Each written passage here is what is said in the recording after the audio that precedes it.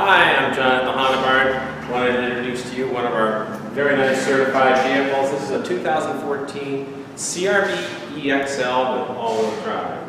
Uh, This is the most popular SUV sold in the country, It has been for many years. This one, uh, the EXL trim level, gives you alloy wheels, gives you leather heated seats. They have a 10-way adjustable power driver seat.